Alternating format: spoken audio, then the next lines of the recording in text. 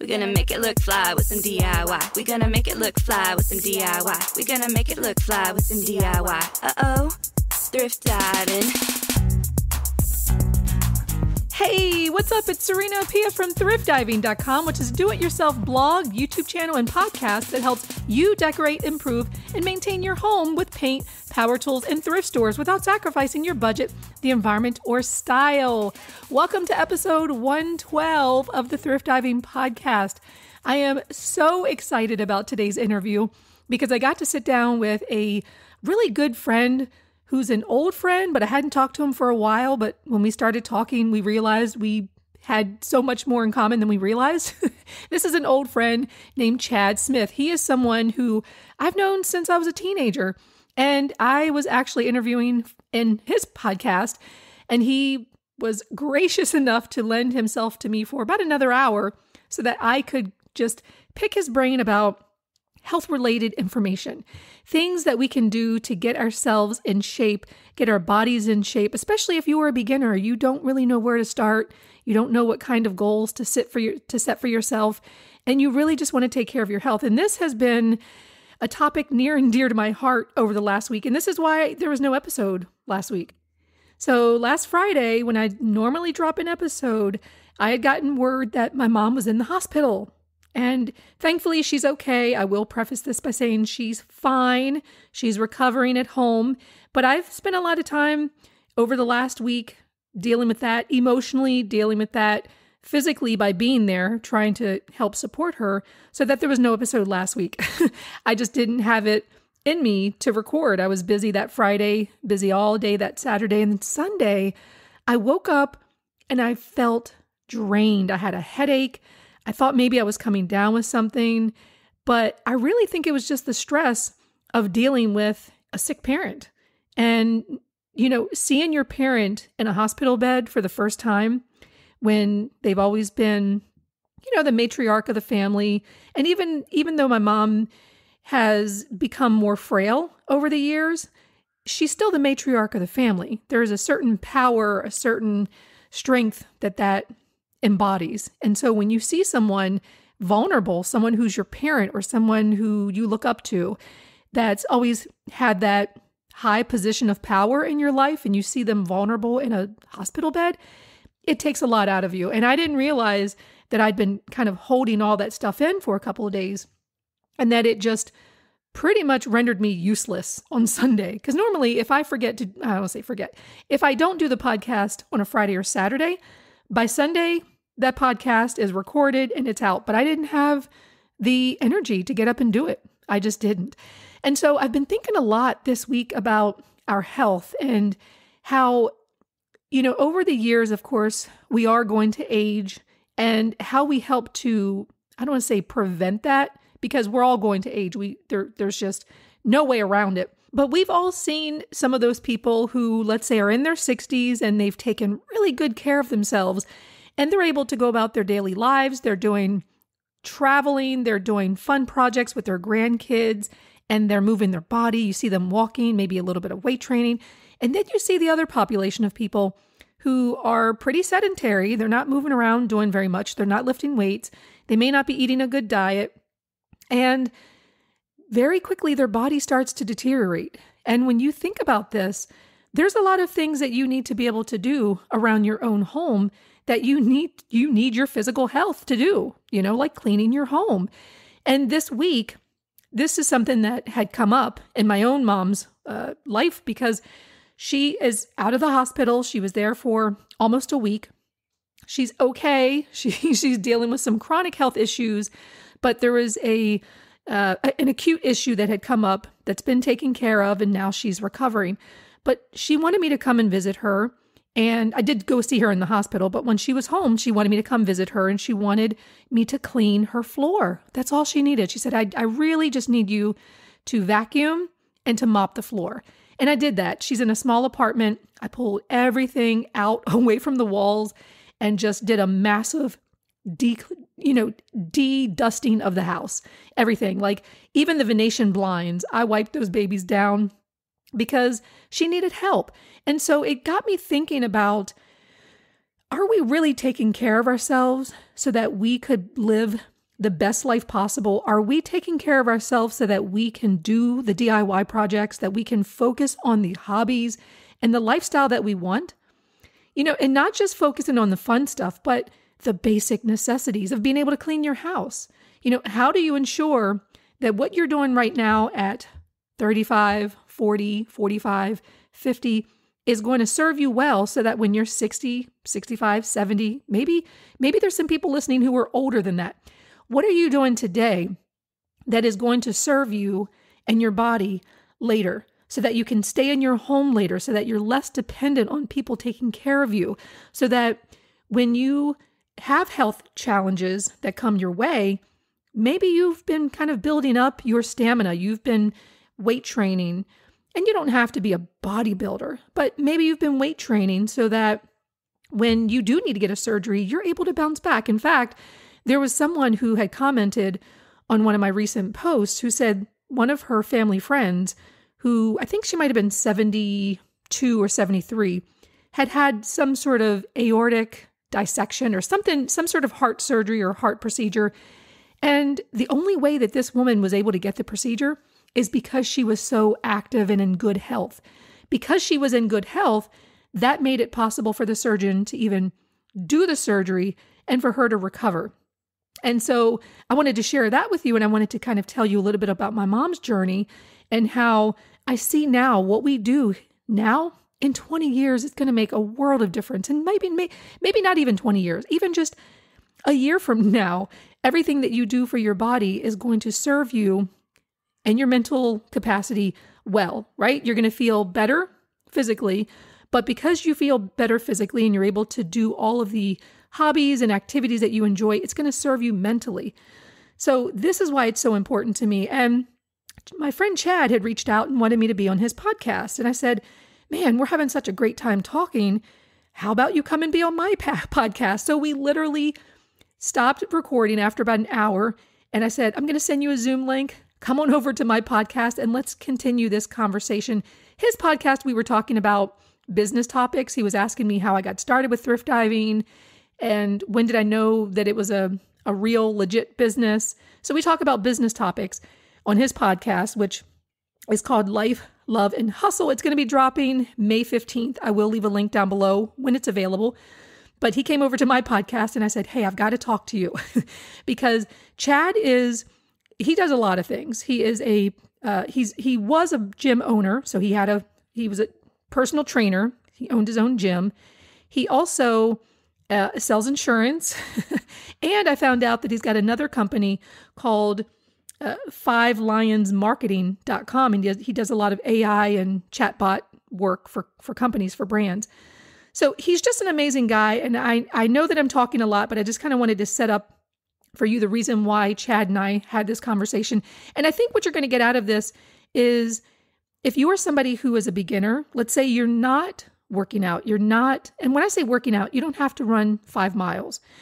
But if you are living a sedentary lifestyle, that's going to catch up to you if it hasn't already. And because of that, it's going to prevent you from being able to fully live your best creative life. It's going to prevent you from being able to do some of the things in your home that you'll need to be able to do to take care of yourself, right? We all want to stay in our home. We don't want to go to nursing homes if possible.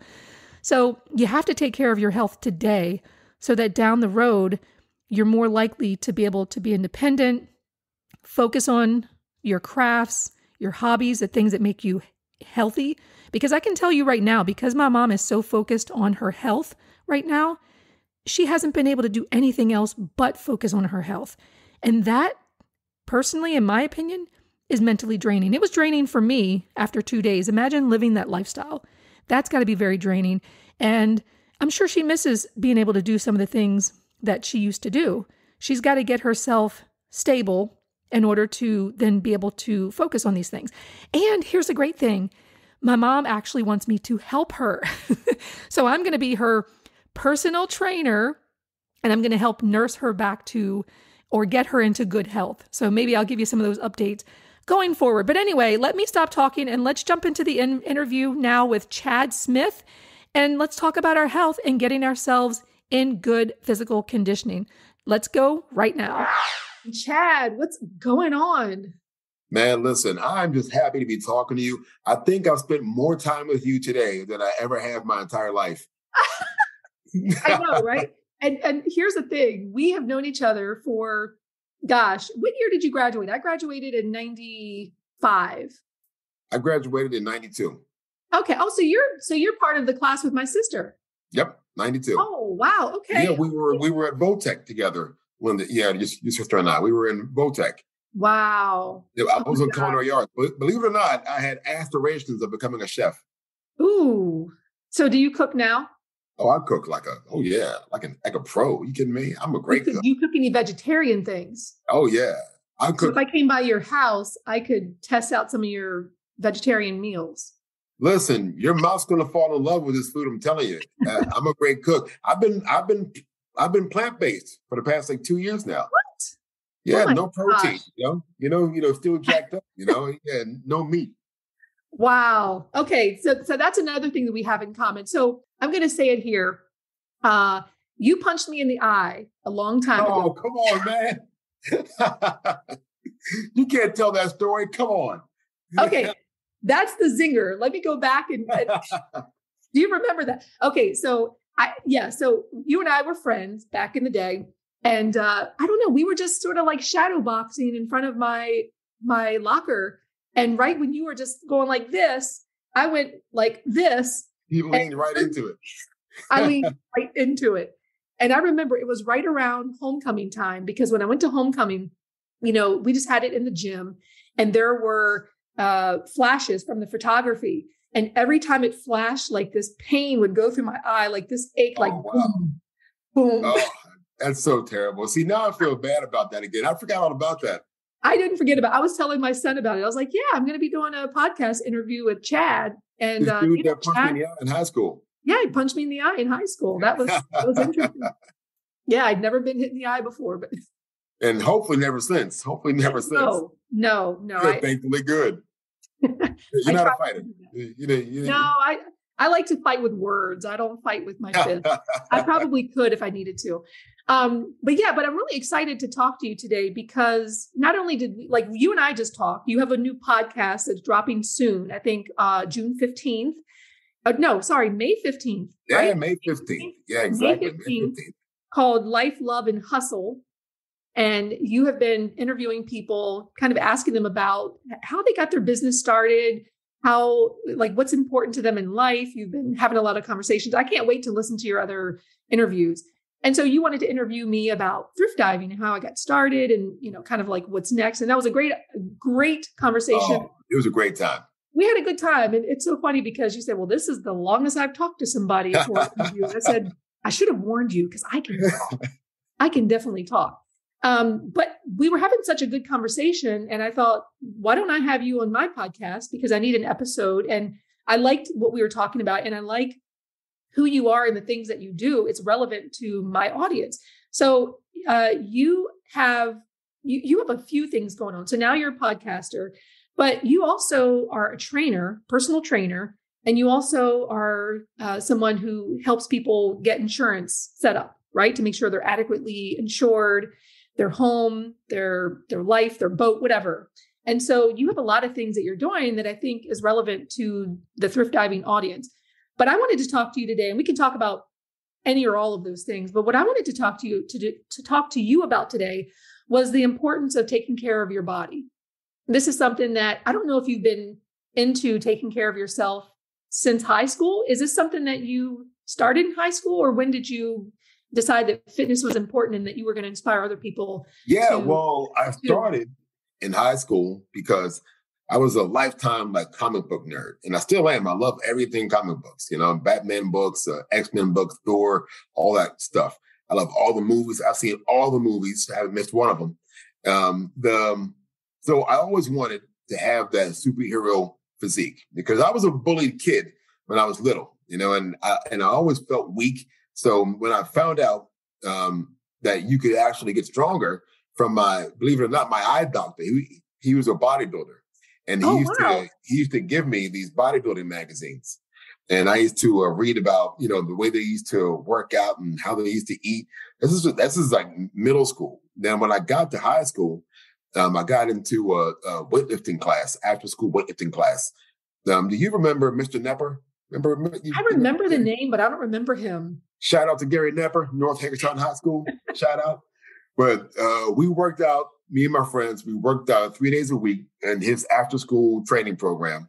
And we started just getting strong and fell in love with it. And that was all we wanted to do was work out, and, you know, get stronger, get bigger. And we, we were competitive with it. You know, so I worked out to be the strongest one in the group. So uh, I just loved it. Um, but after high school, um, I got into personal training by accident because I, I got into competitive bodybuilding. And uh, I got some newspaper articles written about me. And whenever an article came out, somebody always had questions. They always, you know, would call me or whatever. They see me on the street. Ah, I have a question about getting in shape. So I would give advice. And then uh, I began to work at uh, the Hagerstown YMCA. Shout out to the downtown YMCA back in the day, you know. Uh, so people started giving me checks. I was like, wait, I can get paid to, to do this? So I started as a part-time personal trainer and um, kind of then slowly built my career up to the point to where I could do it full time. And um, you know, got into corporate fitness, went into management, and then uh, began an outdoor um, boot camp program moved that up into an indoor program, started working out of multiple facilities. Then my wife at the time and I opened up our own facility called Fitness Revolution. And uh, we, you know, we built up that gym and uh, was having a great time. But in the meantime, um, I was dedicated to becoming an, an, an, expert. So I studied under a lot of um, industry uh, heavyweights and got multiple certifications, always learning, always just trying to uh, become better. Um, so it, it's always been a way of life for me. I mean, I've been a powerlifter, bodybuilder, professional wrestler. So definitely, that's um, always wow. been a way of life. It always will be. Even at 48, I still, you know, I, I, I, I can't do what I did in my 20s, but I'm still, I'm still in really good shape. Uh, all my medicals are pretty much perfect. Um, so that's it. Yeah, it's always been a way of life. Always will be. But you can do more than the the average 48 year old. I'm sure. I, I would like to think so. Definitely, I like to think so that I'm above average. You know, my, my my doctor says I'm I'm way above average as far as like my medicals go. So, yeah, I still I can still um I professionally wrestled for about 20 years, and wow. um, I retired uh, like pre-pandemic, before pandemic happened. Hadn't been in the ring, so my old mentor John Rambo, shout out to John Rambo, you know, shout out. Uh, talked me into coming back to the ring because he's having some medical issues. He can't really work. So um, we had um, a benefit show for him about two months ago, and I hadn't been in the ring since pre-pandemic. How was that? Yeah, it was so much fun. I got back in the ring. People said it was like I hadn't been gone because I could still move. I could still, you know, hit the mat and get back up. I, I was still throwing guys around. So yeah, just maintaining a base level of fitness, you know, could still enable me to get back in the ring when I want to. Now, my body the next day was talking to me. Yeah, that's a whole different issue, right? It's a whole different issue. I can do it, but the durability, woo, Lord, help me. The durability was not there. I can do it that and see and that's what i've noticed is that you know if you keep up your fitness you you can do more things right? But you may not you may not be able to feel the exact same way. You can't bounce back like you used to but yeah, i think the recovery. Exactly. You can you, the recovery is a little bit more difficult but what's interesting is that you know you've you've had this lifetime of of fitness where you're focused on your body and you're maintaining this. And what i want to know is for people who are out here who maybe they haven't focused on their health, but they want to. Where does somebody where does somebody start? And the reason why I don't know if I mentioned this, but I know I will mention it uh, in the intro. But the reason why this is so important to me is because I feel that without your health, you have nothing. You can't do the DIY projects that you want to do. You can't bend down to paint a piece of furniture. You may not even be able to lift something up to get it onto a table to even strip it or to you know, put some new fabric on a chair. It really limits you if you don't have your basic health um, in good condition, right? And plus, not even just physically not being able to do these things, but mentally. You know mm. what it's like if if let's say some you have something that that pops up that's maybe it's chronic, maybe it's something that's uh, acute that that happens. It really pulls you away from anything related to hobbies or you're only focused on survival and getting better and feeling right. So, what are some things? And let's take it from like a standpoint of somebody. Let's say somebody who is a is a total beginner. How do they get started with saying, "Okay, I want to get my health uh, together. I want to get healthy and build muscle so that I can well, be like a, The first thing I would say is a is make sure that you've got a good medical baseline. So most people don't get regular exams. You want to get a full exam, the blood panel, all the good stuff, and figure out where you are from a health perspective. You know, where are you? Make sure there's no underlying issues and or you know something like that. Uh, if you once you get there, once you get a clean bill of health, or at least you're you're ready for uh, physical exercise, like um, figure out exactly what your goals are. Like set goals. If your goal is, um, I want to get in better cardio condition, what does that look like? You know, what do you want to mm-hmm. be able to do? I want to get stronger. Okay, what does that look like? And what do you want to be able to do? You don't have to be uh, a powerlifter, but you should be able to set a baseline of strength for yourself. So if you say, I want to be able to do 50 push-ups, well, you know, that's your first goal. Or I want to be able to uh, to jog a mile. Start there. And then once you hit that goal, what's the next goal? And then what's the next goal? What's the next goal? Until you get to you get to the point where you can figure out like what's my big goal. Right. Mm-hmm. So when I was a competitive lifter, my big goal was to be able uh, to do what we call the triple threat. Right. So to be able to uh, uh, squat and deadlift three times my body weight and to be able to bench press twice my body weight. So that that hmm. was the big goal. Um, so the the supporting goals came to get there, you know, and uh, celebrate at every point in the process. So if you say you can jog a mile and you can double that, right? Celebrate that. Celebrate that. Uh, if you can only do one push up, but you end up doing five, celebrate that also. So goals are important, and being able to celebrate every part in the journey that's huge right there. Number two, I would say drink your water, drink lots of water, drink lots of water. So the typical goal right now is to get about um, at least two liters a day of water, like minimum. Two liters. Okay. Yeah, two liters a day minimum. That's you know a good baseline for most people. Um, and then third, I would say Eat your vegetables. Eat more vegetables. You got to. Most people don't eat near enough vegetables mm-hmm. in the day. The vegetables have all the good stuff in them that you need to help feed your cells. You are your cells, and whatever you put in your body creates those new cells. So if you're eating a bunch of trash every day, guess what your body is? Trash. Mm-hmm. If you're mm, eating a bunch yep. of good, colorful vegetables and you're getting lots of variety in planting, guess what you are? You are a powerhouse now of nutrition. So you're going to function on a high level. And then after that, I would say get lots of sleep. Most people don't get near enough sleep. Uh, I didn't used to, but I found a huge difference when I'm getting eight hours as opposed to like five hours. It's a big difference for me. And the more you age, usually the more quality sleep you need as we get older. So I would say those those things are important. Set goals, set solid goals, celebrate every point in the journey. Um, drink your water um, eat lots of vegetables, and get and get more sleep. Yeah, I think that most people, I think most people can do those things, but they come up with reasons why they can't. Right. Right. Yeah. Uh, they don't like vegetables. Uh, they're this is what I eat. I don't. I don't like those things. And I think that if people can at least just pick out one of those things to do, like first of all, going like you said, going to the doctor, get your your baseline uh, laboratory, uh, your labs done.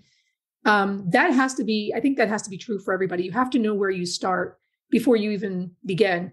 Um, and I would also, too, Chad, I would also say take before pictures, take measurements, because I can tell you that when I started my health journey about two years ago, I got really discouraged when I just looked at the scale. And you know, I wanted that right. scale to yeah. say a certain number and it didn't. And if I didn't hit that number that I was looking at by a certain time, then I started feeling, oh my gosh, this is this is not even working. I'm just going to stop.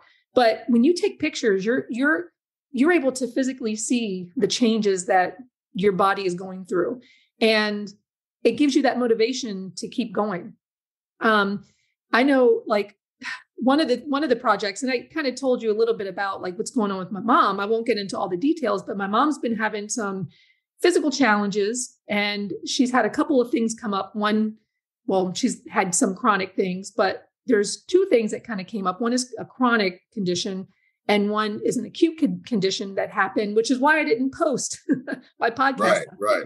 And so she's someone who is like an absolute beginner. She's 68 years old. She has never really focused on health.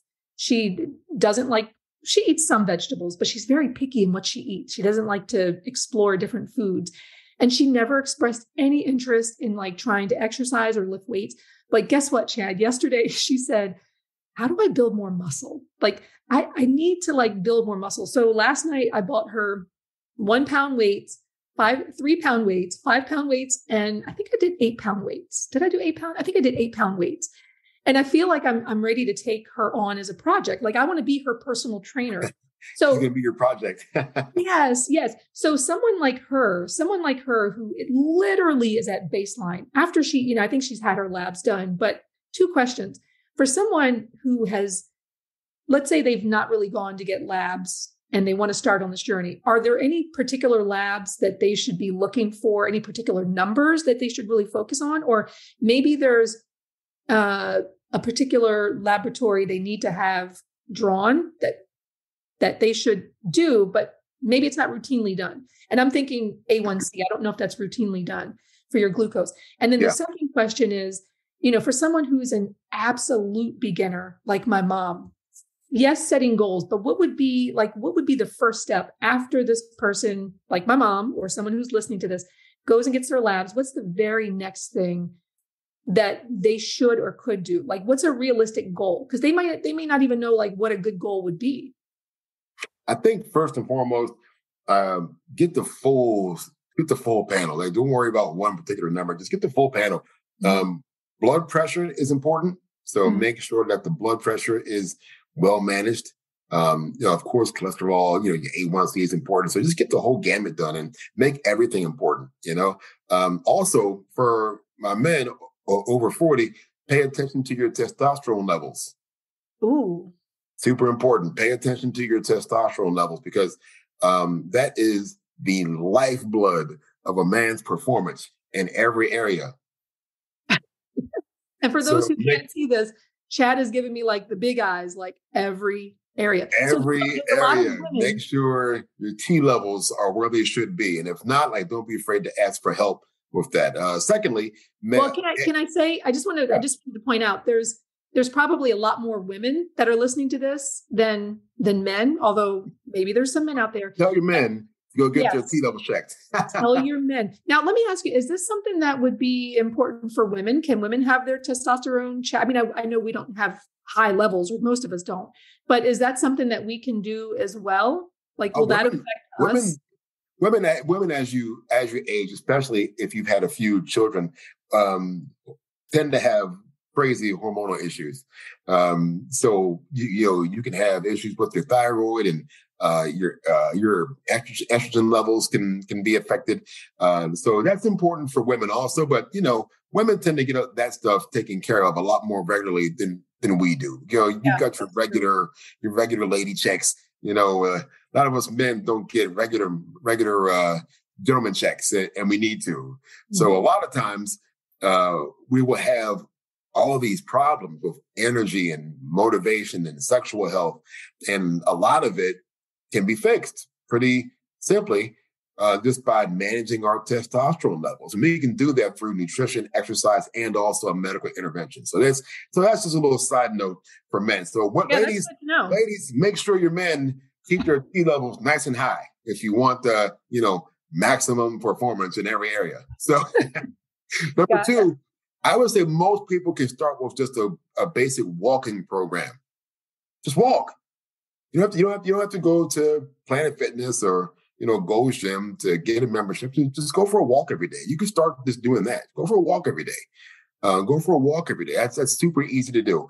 Um, I would also say um, mobility, flexibility is super important. So you could find yourself a nice uh, gentle yoga program or um, Pilates program uh, just to help keep your core strong or build core strength and maximize your range of motion. So, you know, if you can't see this, this is important to be able to do, right? To be able to move those shoulders nice and free, be able to move your hips nice and free. If you lose hip mobility, if you lose mobility in your hips and you lose your core strength, that's where you will begin to get old. Mm. Ooh. Okay, I'm I'm I'm feeling that one. I'm feeling that one. And and you know what that you know what that translates to? You're more likely to trip and fall.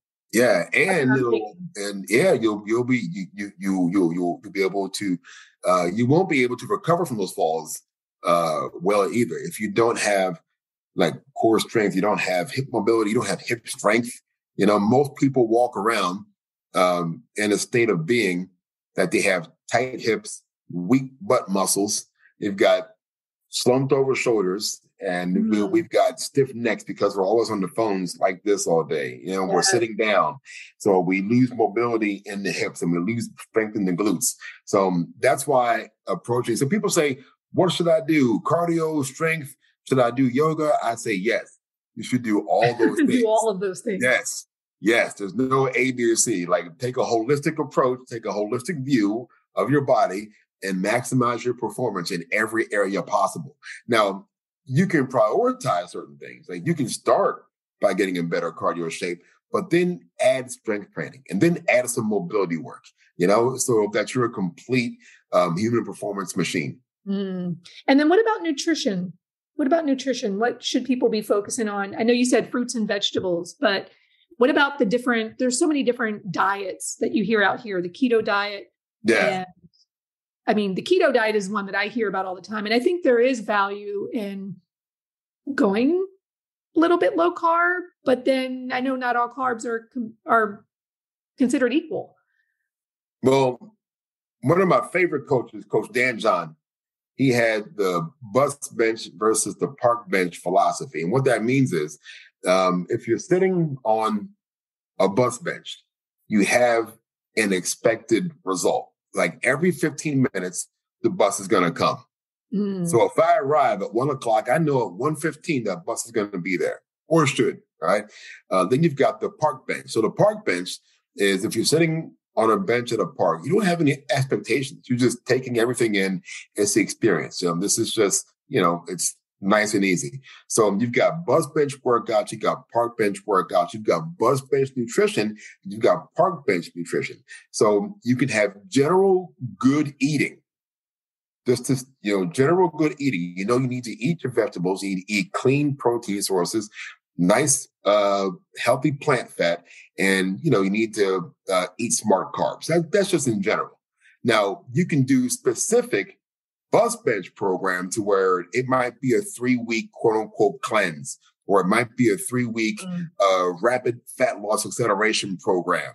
Now, there's things that you can do long term. Those are the park bench uh, nutrition plans, or you can do the short term sprints, which are the uh, the the bus bench programs. Mm-hmm. So, and um, honestly, there's like four thousand diet books that you can find on Amazon.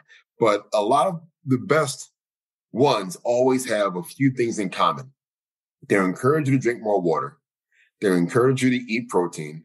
They encourage you to eat lots of, of vegetables with some moderate fruit consumption. Okay. Those are the common denominators. Everything else is just a variation on a theme. Mm. Right. So, yeah. So you don't need to overthink it. Just pick one that you can live with and execute it as best as you can. I've always found that if you can be about 80%, about 70 to 80% compliant with any diet plan, you're going to have success. The have success. best diet is the one you can stick to long term. Yes, I like that. You know, there was a there's a podcast that I just started listening to called Diary of a CEO. Do you listen to it? Oh, I haven't heard of it. Oh gosh. Okay, everybody should check this this podcast out. It's um a, a guy. His name is Steven. I don't know his last name, but it's called Diary of a CEO, and he has he has some business minded people on his podcast, but I recently found it, and I found it because of some headlines that were related to health. So he recently had a woman on. I don't remember her name, but she goes by the glucose goddess.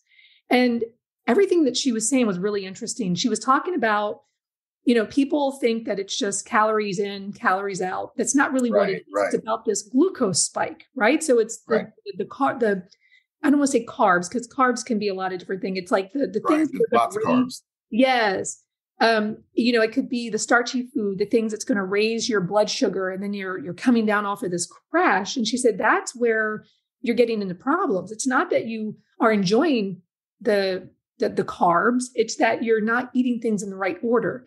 So one thing that she said that was really really interesting, that just was mind blowing to me, was always eat your vegetables first, then eat your proteins, fats, right. your you know your pastas and your other you know simple carbs and then your sweets.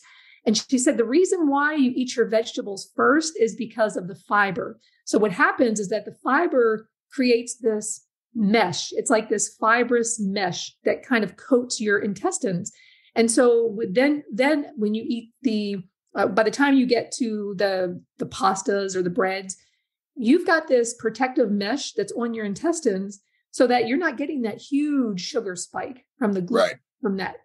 And so I was like, oh my gosh. So now when I eat, I'm always trying to eat the vegetables first. You should have seen me the other day. I was I was gonna eat something. I don't know what it was, but I just took like a handful of arugula in my I washed it under the the the you know sink and I just I just started, I, I, I need like a like a whole rabbit. That's pretty much what it was. That's pretty much what it was. I just took a whole handful and just started eating it because it I, I don't even know what it was, but it was something that I probably shouldn't have been eating.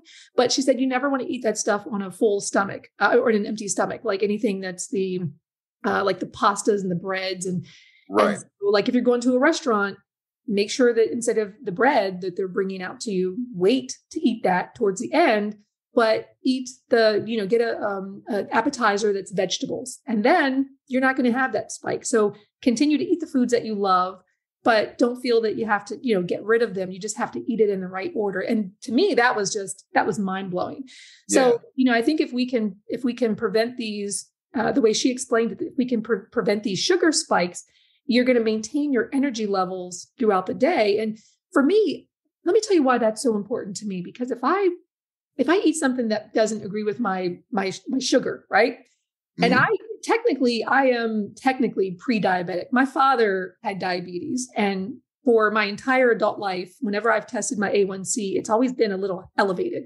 Mm. And so in these last few months, I've really been trying to make an effort to, you know, cut down on the the sweets and the carbs and things like that. And um, so that's why it's important to me. Well, if I eat something like, let's say, a bowl of breakfast cereal, which I don't, two hours later, I feel like crap. It oh, makes oh, yeah, me for sure. jittery. I'm, I'm jittery. And there have been times when I've not been able to work on DIY projects because by the time I come to my shed, if I've eaten something in the morning that, oh, I shouldn't have had that, then I start feeling, I don't feel good. And so if I'm not feeling good or if someone's listening to this and you notice that you have these these afternoon dips where you're just feeling tired and maybe you want to go work on a project but you can't do it because you're just tired look at what you're eating and and and track that and maybe eat things in the right order so that you don't have those and there were some other tips that she gave i'll leave a link link down in the show notes for anyone to check out that book on amazon i purchased it myself because i thought i don't want to give up my pasta and the pizza and the things yeah. that i like but you just got to eat it in the right order well, also, it, it, depends on what your goals are. So, if your goal is to, let's say your goal is lose weight, okay? So, there's certain foods that you absolutely have to give up, at least for a short term, not forever, just for a short term. So, are one of those pizza? Yeah, one of those pizza. Oh no! Now, now there's a strategy that you can use. Um, if you can, if you can go 14 days on plan like 14 days. seven days if you're new. If you're new at a diet, right? Every seven days, you, if you have seven good days where you're on plan, one cheat meal. It can be whatever the hell you want it to be. Doesn't matter. You want that pizza, you want a burger, top it. Now, you want to progress if you can get to 14 days on plan, get your cheat meal. And then the uh, the heavyweight plan is if you can go 21 days, cheat meal, right? You have to call it a cheat meal. Isn't well, that the problem though? You know what? I don't get caught up on those kind of things. You know why? Because I call it what it is. You're cheating. No, okay. I don't think it's a cheat. It's a fair, it's a legal cheat. It's fine. It's a legal cheat. Uh, or we can call them treat meals, or we can call them, you know, call what you want, like but eat, but but eat whatever you want for one meal as a reward. Like reframe it and think about it as a reward. You know, for seven good days, you get to reward yourself with that one off the ranch meal, whatever you want it to be. You know, uh, and then you know what? Let me let me let me go ten days. Let me go fourteen days. So you're building up you're building up your discipline over time. You know, to the point to where you know you might not even need it anymore. It might be a month. Hey, you know what? I'm gonna let the dice keep rolling on this. I feel good. But uh, just think about it. Put it on the calendar. Seven days. I'm going to eat a hamburger and fries in seven days, but only if I make it seven days on plan. Well, here's the thing. Back to what you were saying earlier. Do you think that that is sustainable? I think for the short term, it is. I think okay. it is. I think for the short term, it is.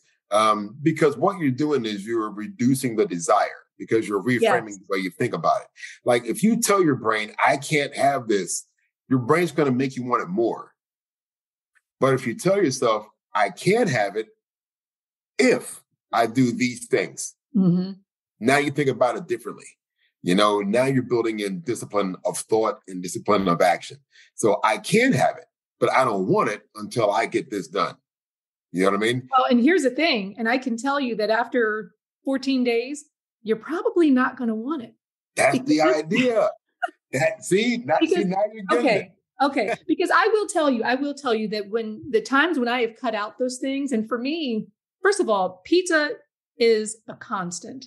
I will never give pizza up. I used to be like a, I'm a vegetarian now, but I used to be a, a strict vegetarian. I never claimed veganism because if there was a donut and maybe there was, I don't know, like, uh, oh, or let's just put it this way. I would I would eat the pizza even if I yeah. was a vegetarian. But I was strict vegetarian that if let's say there was a bag of chips and there was yeah. powder and you know whey powder in the chips, oh no, I wouldn't eat it because that has really.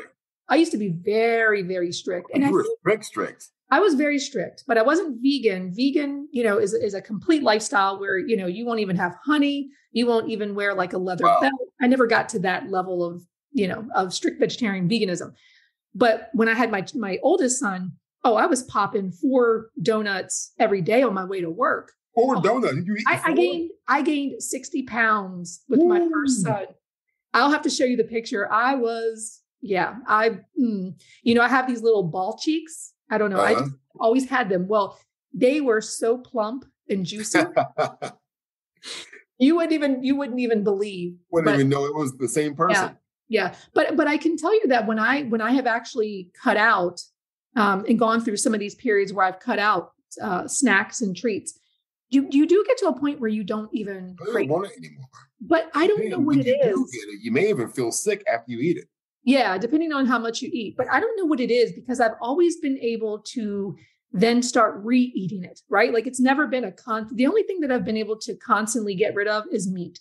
And I think the reason why is because there's always been such good substitutes, you know, like the veggie yeah. burger. Everything has improved. And now when you go yeah. to any restaurant, you're going to find some veggie options mm-hmm. and it's easier to maintain. So I don't have a craving for meat because I feel that there's things that are meat ish, meat like that I can eat.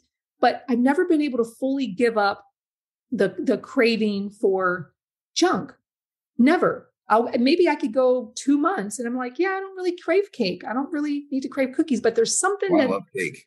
Oh, I love cake. I wish I could go. Fries, man. Those are my crutches. I wish I could go to Costco and just buy a birthday cake for no apparent reason other than just, just to just come home and eat it. That's what I would love to do. Eat, eat the cake, Serena. Eat the cake. no, don't tell me that.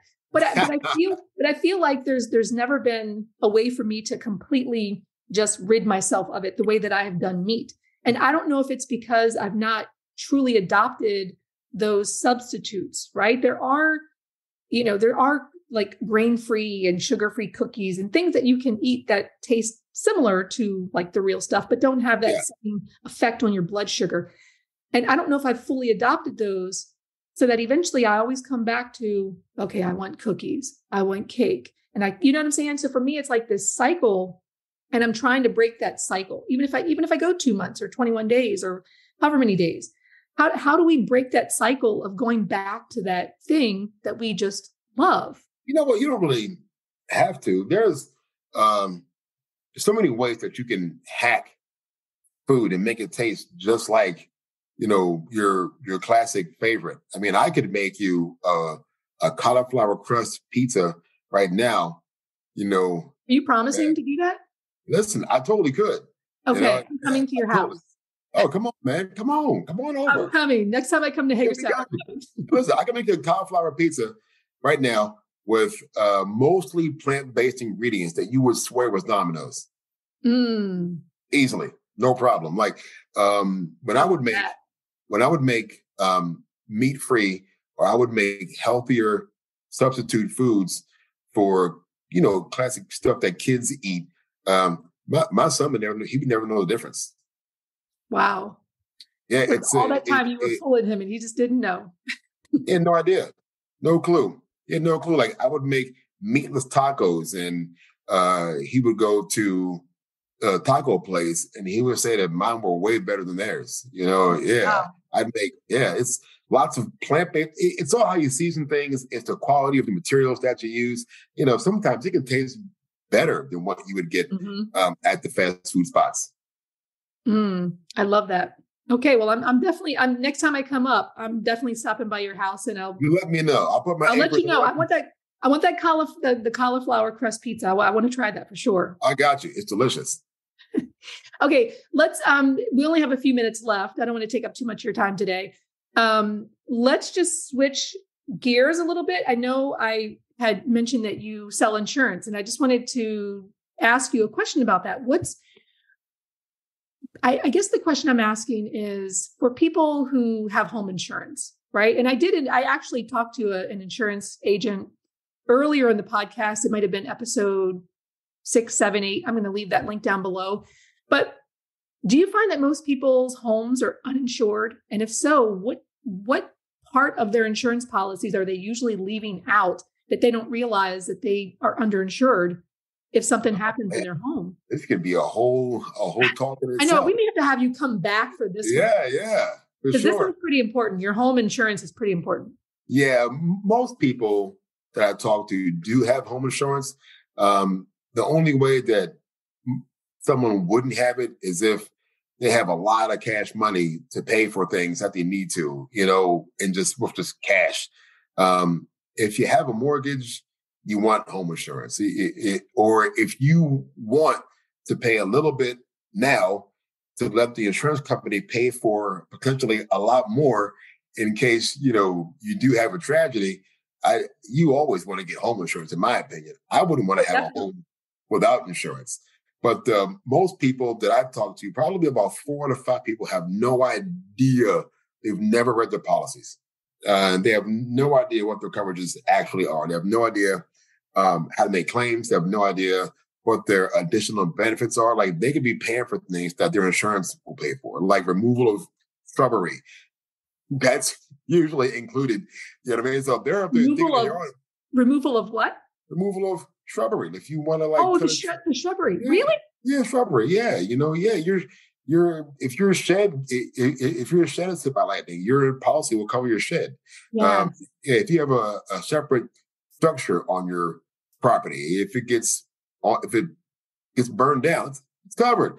Um, it, some policies will even cover you for um, cyber crimes. If you get your identity theft, they'll pay for like twenty five thousand uh, dollars to recover what you've lost. So wow. uh, yeah, there's so much stuff that people don't even realize that they have in their policy because they never read it. Because uh, what I found is that most when, when people buy a home, insurance is the butt naked last thing that they think of, right? And usually it's manipulated um, by the insurance agent and the lender to yeah. make sure it comes under what they need to qualify for the loan. And then they never fix, like, I don't, I don't have a problem with that, but then they never fix it.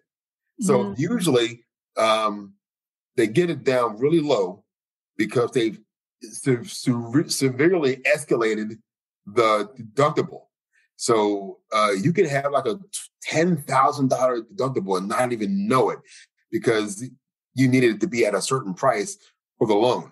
So if you do have a tragedy and you look at it and you don't have ten thousand dollars, your insurance isn't going to pay for anything. So always make sure you fully understand. Make sure that you get walked through that home policy step by step, line by line, before you sign off on it. Mm. Make sure you understand it completely before you sign off on it. So then that's what we all need to do. That's that's the next step. I mean, in addition to getting our health right, we have to get our insurance right to protect our home. Yeah. And, and yeah, those are definitely please. Two different topics. And, and I definitely want to have you back on another episode to talk about that because I do think there's, even for myself, I don't think I've looked at my policy. I did look at my policy. Actually, no. The last time that I had an, an insurance agent on, I did look at my policy and I learned that my she shed, I think I've got maybe $40,000 of coverage.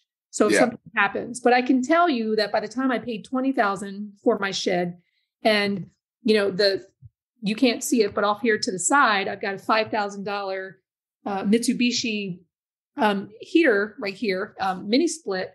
By the time you add in all those things, it probably is over 40,000. So I may not even be able to cover everything in my she shed if something were to happen. Well, the good so, news is the good news is, is that it may be covered under personal property, and that's a separate mm-hmm. um, line right there. So you've got um, your your unattached structures, right? That's covered. Then you've got personal property, which is covered also. So personal property is if you cut off the roof of your house, you turn it upside down, and you shake it, whatever mm-hmm. falls out is personal property, and that's what's covered under that line. So you've got so you have dwelling, which is the house itself. Then you've got the uh, unattached um, structures, which is like sheds and whatnot. Then you've got personal property, um, and you can adjust the amount of coverage that that you want for personal property, and you can also adjust uh, their percentage of your dwelling to cover um, your unattached structures. And then you've got liability, which of course is like, like that's your lawsuit protection. Someone gets hurt on your property, you know, you you might assault them on your property or or whatever. You know, that's or your lawsuit protection. You might have you might have a painter or maybe a landscaper come to your house to do some work and they're injured. Right. And that would be covered under that liability, right? Yep, exactly. Okay. Yep, so I'm, I'm going to definitely, I'm going to definitely have you back. We're going to talk more about that because I, I think that is important. And it, you're right. Most people get that insurance and they just never look at it and they only they only know what they have until they actually need to use it and then they may be unpleasantly surprised that they don't have some of the coverage that they might need so we'll have to talk about that is there any last things that you want to share with us that you that you do you do a lot of things you do yeah. you're, a chef so you're oh, a, chef. a chef. i mean you're a chef your you're, you're a chef of your home like your yeah. domain yeah you I'm were the chef. chef of your home i'm a personal chef you know and you're a personal chef exactly. I love yeah. to cook, but um, uh, I'm not a, a, trainer anymore. I mean, I just um, I fill in for a friend of mine who has a studio here. If he wants some time off, I'll take I'll train some of his clients. You know, when he takes time off. Um, Saturday mornings, I teach a kettlebell class. It's, it's, it's just for fun. It's because I, I love to teach. Uh, and even though I don't want to do it for a living anymore, I still like to kind of like stay, keep, keep one toe in the water, you know, oh, yeah. just to just to have a little fun and uh, people seem to enjoy it. Um, so yeah, but the podcast, uh, Life, Love, and Hustle, is going to be available on all platforms uh, mid June. I mean mid May, and we're going to talk about uh, the story behind the stories um, of entrepreneurs, artists, and activists, and you know what motivates them and uh, what the future holds for them. So it's going to be a lot of fun. And uh, you were one of my favorite interviews so far, and I knew, I knew it would be that, yeah, that, that was definitely a good time. I, I appreciate you. you. I know. I, I enjoyed it. I enjoyed it. And that's why I was like, oh, can we continue talking about stuff? Just come on my podcast because I didn't have anything planned for today. I usually will figure it out at some point during the day. But um, yeah, this this was like the perfect conversation. All right. So I guess we will have all your links down below. And uh, I will remind people, you know, because I think next week, I think we have a little bit of time before your podcast goes live. But when it goes live, I will remind people again to have a listen. I can't wait. Did you? Let me ask you. Did did you get a chance to interview the mayor of Hagerstown? Um, no, but that's happening this weekend. It is. Yes. So one of our classmates, I think she may have graduated the same year as me. She is the mayor of the newly elected mayor of Hagerstown. So we're we're from Hagerstown, which is I don't know. I say small, but Hagerstown, I guess for Western Maryland, it's actually one of the bigger cities. Yeah, per capita, it's it's it's actually one of the most populated cities in, in Maryland. That's insane because I've always considered yeah. it to be like just this small little Western Maryland town. I mean, it is and it isn't. It's it's a weird area of, of the state. And you know? I tell you, Chad, when I come back to Hagerstown, it's I it, I don't know. I have these emotions. I feel this sense of nostalgia because mm-hmm. you know I can go down Jonathan Street and see there's a clothing store that's down there on Jonathan Street and I don't know the name of it, but it has these two black statues uh, that look like like a horse's head, and they mm were posted right outside of this clothing store. And when I was a kid, I used to remember because I lived on Jonathan Street for a number of years, and I remember when we would walk down there, I would kiss the nose of these two little statues, and they're still there. They're yeah, that was um, here. It wasn't actually on Jonathan, but it was like right off Jonathan. I think it was called um, Leeds? Maybe, or maybe it was like yes. further up, a little further up from. Yeah, I think it was called Leeds, L E E D S, I believe. But I know right because uh, I know right what you mean because I used to go in there all the time and go look at the oh, clothes. Really? yeah, I never bought anything. Actually, I think I bought a three quarter trench coat. Oh. I think there once. So it's very it's very nostalgic when I when I drive through. I'm like, oh, I remember those, and I remember we would cruise the dual highway, and but then when I'm there, you know, again, I still feel that sense of nostalgia. But when I leave, I feel like this sense of like, oh, like it feels good to leave and go back to like my home. And it's not just my yeah. home, but there's something about leaving Hagerstown that makes me just feel happy to leave. But then I feel like that cozy sense of, wow, this is where I'm from. And, you know, you'll run into someone that you hadn't seen since years and you yeah you may not even really have known them, but you recognize their face. And so they're, they're people that have always been in your space or in your your hometown for years. Like one day, I, this was several years ago, there was, I think it was the Jazz Fest at the city park. And I ran into, yeah. she was like my preschool teacher. I was like, oh my gosh, there's my I remember you. You're still alive? It's amazing. Yes. and she remembered me. She remembered me. And I took a picture with her and everything. So it's this, it's this warm feeling that I have when I come back, but then there's like this happiness when I leave. Like, oh, get to go back to, you know, I don't right. know. It's just so strange. I've never been able to place it before. It's your new home, you know? I guess, I guess. But then, you know, when I think about like, hey, I'm going to stop by Chad's place and get some like get some cauliflower crust pizza. pizza. Yeah, like it feels good thinking, oh my gosh, I'm going to connect with these people that I've known for like more than half of my life. So it feels good. But then it's like when I leave, I'm I'm always kind of happy to happy to leave and come back to like this area. I don't know what it is. I actually moved. To, um, I moved to Frederick last January, so I'm not. I'm not even in, in Hagerstown anymore. Oh, you're not in specifically. Oh, okay. Well, okay. Why was I thinking that you were in Hagerstown? Oh, no, I'm in Frederick. Well, I was there yesterday for some work, but uh, yeah. Okay. So for those who are listening, Frederick is it's about 20 minutes um south. Yeah. No, it's like south, south yeah, kind of south, east. yeah. Yeah, like southeast. And Frederick is great. Like downtown Frederick, oh my gosh. It's like yeah, this crazy. hip little happening spot. Maybe mm-hmm. that's where I'll have to meet you, downtown Frederick. I love it. Every year, I'll tell you this and then I'll let you go. Every year for my birthday, my mom's birthday is mine's December 13th, hers is the 19th. So I usually will come to Hagerstown, we'll go eat somewhere. And on the way back, I'll stop in Hagerstown, uh, not Hagerstown, uh, downtown Frederick, and I'll just go shopping and go to the little boutique shops and find little trinkets and Christmas gifts since it's so close yeah. to Christmas.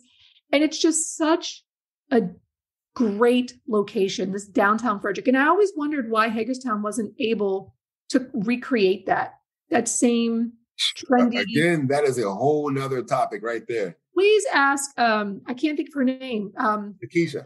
Yes, yes, yes. Tekesha, please ask her how we can make that happen in Hagerstown. oh, oh, there are things happening right now. There's really? big things happening right now that are coming down the pike that are finally happening that you know will make a lot of those things possible mm. for sure. Yeah, yeah, we can talk about that definitely offline. There's a lot yes. of things to talk about oh, about awesome. on, on that note. All right. Well, thank you, Chad, so much for being a part of the Thrift Diving podcast, and I hope people will go down to the link below, check out his podcast, Live uh, Life, Love, and Hustle, and That's then right. to the podcast that I did with him and all the other great stuff that he's that he's doing. Thank you, Chad. Hey, thank you. Love you. Wasn't that a great episode? It was so much fun talking to him. I just wish that he and I had connected sooner. And it's great talking to someone when you know that you have all this history, like you go way, way, way back. They knew you back before anybody else knew you. And it's just really a cool idea connecting with some of your old friends. But this was a great episode because I think if you listen to this, if you are somebody who is sedentary, you're going to be inspired to get started today.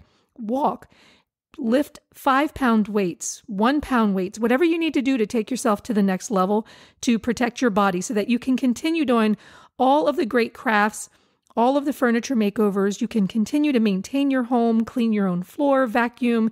That's what you want. You want to be independent, you want to be creative, and you want to know that your health is going to support you in all that you do.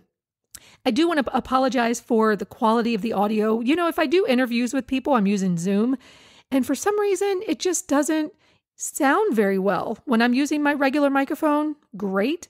But the minute it's come, it, the recording goes through Zoom, it just sounds oh. So I got to figure out how to improve that so that I can give you better quality audio.